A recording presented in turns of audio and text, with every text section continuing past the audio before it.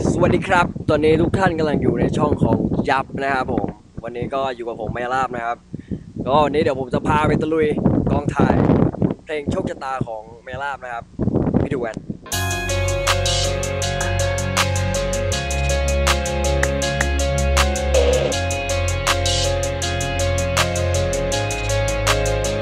โชคชะตาจะเล่นตลกยังไงกับกูก็ฉันกูจะยืนแต่เต้นแม้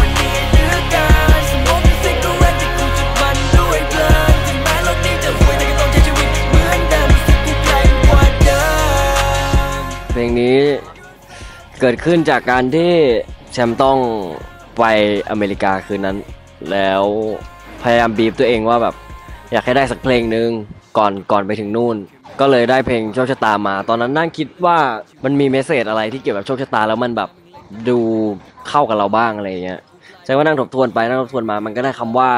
โชคชะตาจะเล่นตลก ซึ่งมานั่งคิดคิดดูแชมป์ก็เหมาะสมกับคำนี้ เพราะว่าโชคชะตาแชมป์มันก็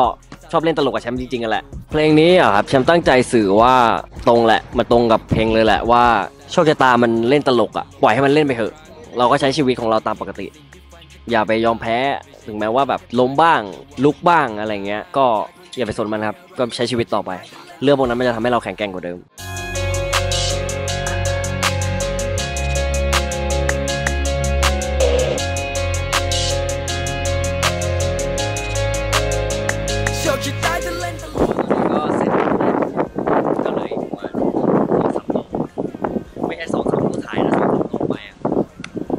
ดิจืดขนาดนี้ โอ้โห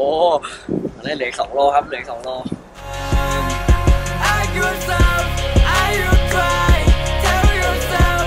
not to die, not to die, not to die. เพลงโชคชะตาเพลงนี้ครับ ก็จะมีสิ่งที่เปลี่ยนไปก็คือแนวดนตรี alternative ถ้าทุกคนสังเกตเพลงแชมป์จะไม่นิ่งเลย แม้แต่นิดเดียว เดี๋ยวรัก เดี๋ยวหวาน เดี๋ยว ดุเดี๋ยวนู่นเดี๋ยวนี่เดี๋ยวนั่นแชมป์ก็มานั่งคิดดูว่าแบบจริง ๆ แล้วว่าแชมป์ชอบอะไรกันแน่คำตอบที่แชมป์ได้มาจริงๆคือแชมป์ชอบทั้งหมดแหละ มันเลยนิยามได้ว่ามันเป็น alternative ซึ่งคนทำ alternative ส่วนใหญ่ อย่างวงที่แชมป์ชอบหรืออะไรเงี้ยฮะเขาก็จะแบบมันก็มันจะ hyper อย่างนี้แหละ เดี๋ยวรัก เดี๋ยวดุเดี๋ยวรักเดี๋ยวดุอะไรเงี้ย ซึ่งมันค่อนข้างไปได้ดีกับแชมป์และแชมป์อะชอบ alternative มาตั้งนานแล้วครับ ถ้าสังเกตดูเพลงของริเวอร์ลามพักหลังๆก็จะเป็นทรง alternative ทรงพูดถึงเรื่องชีวิตเรื่องอะไรแบบเนี้ยนั่นแหละมันก็เลยแบบจุดประกายให้แชมป์ว่าลองทำ alternative ดูสักเพลงหนึ่งแชมป์ก็เลยตัดสินใจว่าลองดู ก็คือได้เพลงโชคชะตาเป็นเพลงแรกที่เป็น alternative แล้วก็เป็นแนวแบบที่แชมป์อยากทำจริงๆอะโ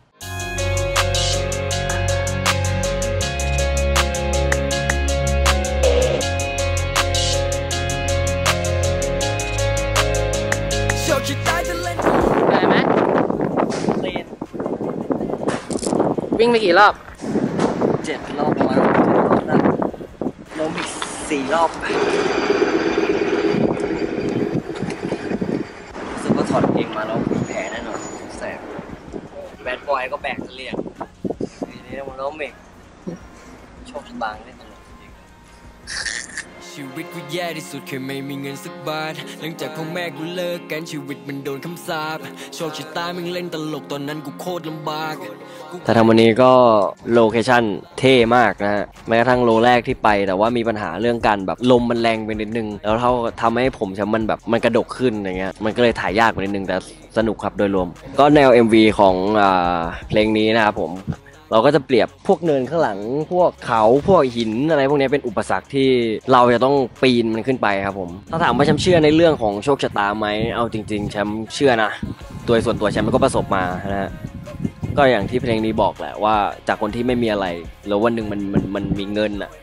มันมีงานมันมีอะไรทำอะไรเงี้ย ซึ่งมันเป็น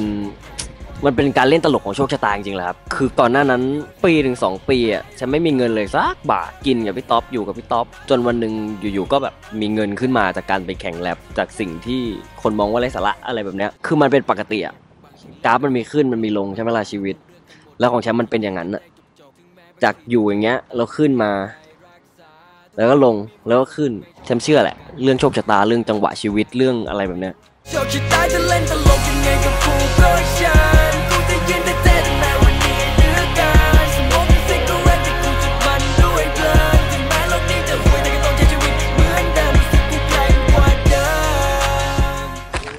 เอนมว่เครับผมกับกอง MV เพลงโชคชะตาของเมล่านะครับอย่าลืมไปติดตามกันนะครับผมที่ช่องยับนะฮะ เป็นกองถ่ายที่เดือดดานมากคราวที่แล้วผมแบกเสลี่ยงใช่ไหมคราวนี้ขึ้นเขาขึ้นแต่เช้าอะเนี่ยบ่ายสามแล้วแดดโคตรแรง แต่ว่าออกมาดีแน่นอนนะครับอย่าลืมติดตามกัน